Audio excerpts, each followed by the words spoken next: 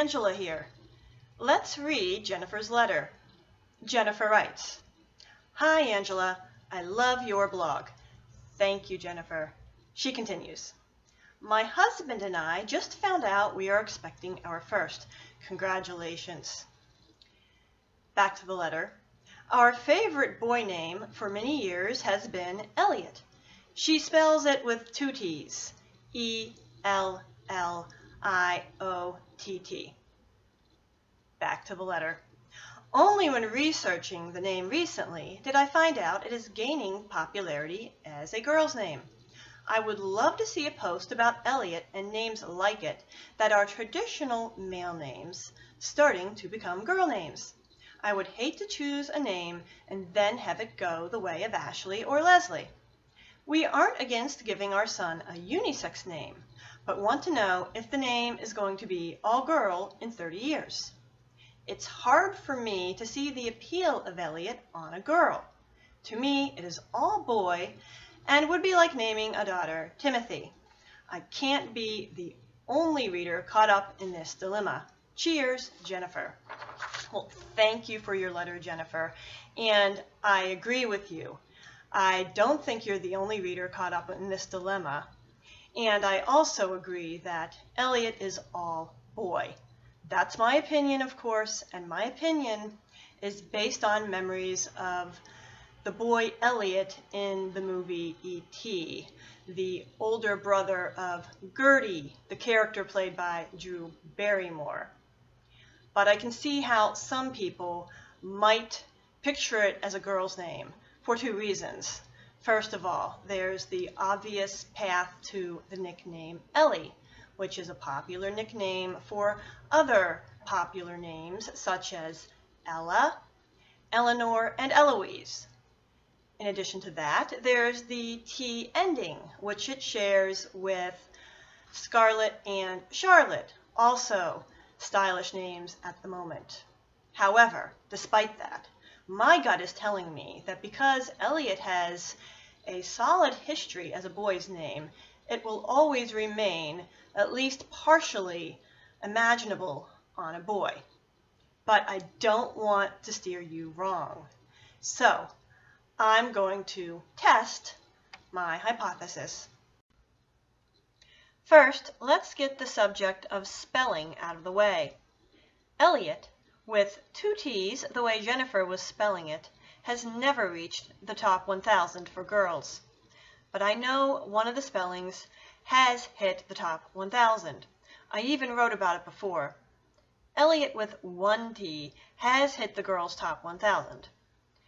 For simplicity, I'm going to check the stats for the single T spelling and compare those to the stats of other traditionally male names that have been used on girls. But before we do that, let's see how close the double T spelling has to hitting the top 1,000 and how popular both spellings are on both genders.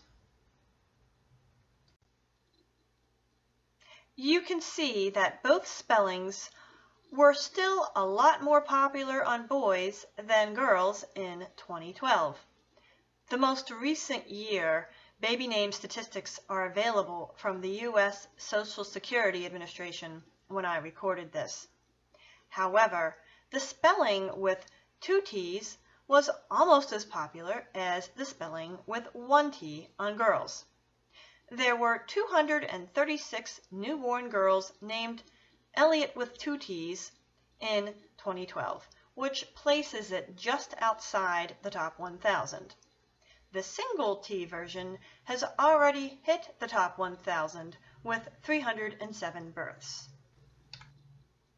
The two takeaways here are 1. The combined popularity of Elliot with one T plus Elliot with two T's is almost double the popularity of each spelling individually. This means both names may seem more popular than their rankings suggest. Number two, for the moment, there are about five times as many boys as girls with both spellings. Compounding the problem are other spellings.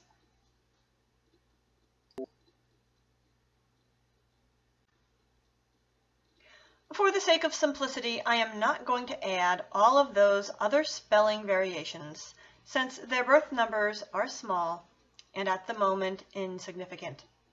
Regardless of spelling, Elliot is clearly a stylish name. The question is, how likely is any spelling to keep its predominantly masculine style? Here is Elliot's popularity on boys and girls from 1880 to 2012.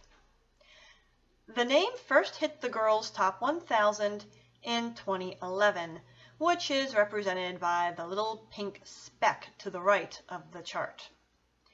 As far as the name's historic popularity on boys, it has never been terribly popular, but has been consistently in the boys' top 1000 for almost a century. The question is, is Elliot's history on boys strong enough to keep it imaginable on boys, or will the name get traded to Team Pink? There are three types of boys' names used on girls.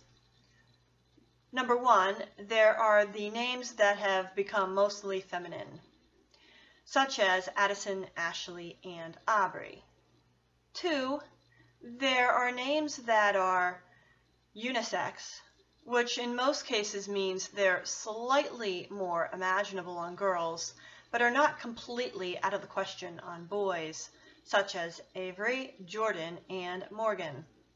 And number three, there are mostly masculine names, such as Jason and Michael. Yes, even Jason and Michael were used on a few girls during the height of their popularity on boys. All of these names have hit the top 1,000 for both genders at some point since 1880. Let's see how Elliot compares with these names. First, let's start with the names that are now considered mostly feminine. Addison is a name that was never terribly popular on boys, but looked like it was about to make a comeback on boys in the 90s. As recently as 2009, Addison was still in the boys' top 1,000 until it left those ranks the following year. For girls, however, Addison is now a mega hit name, ranking in the top 15. When comparing Elliot's popularity to Addison's, I see one major difference between the two. Elliot has spent a lot more time in the boys' top 1,000. Let's see how Elliot compares with other strongly feminine crossover names. Ashley's past popularity on boys was similar to Addison's from the previous slide. Both names were never terribly common with boys, but appeared to be making a comeback for boys until the girls took over. This is in contrast to Elliot, which has been consistently in the boys' top 1,000 for almost a century, this suggests that the name most likely to go girl is the one that has the more dramatic shifts in popularity, names that have left and re-entered the top 1,000. This is encouraging for anyone who prefers Elliot on a boy. The story with Aubrey, however, is a little different, and for those who like Elliot for boys, a little less encouraging. Until Aubrey became known as a girl's name, it had consistently charted on boys, and may have never reached the top 200, but at one time was actually more popular on boys than Elliot. One thing to note, Aubrey's complete transition to Team Pink took at least a generation. Aubrey has been a top 1,000 girl name since the 70s. It first entered the girls' top 1,000 in 1973 at 883. Aubrey's 1973 girl rank is very close to Elliot's girl rank when it first entered the top 1,000 nearly 40 years later. However, while we only have two years of girl rankings for Elliot, based on those two years so far, it has not risen as quickly as Aubrey rose in the 70s. So the results are a mixed bag.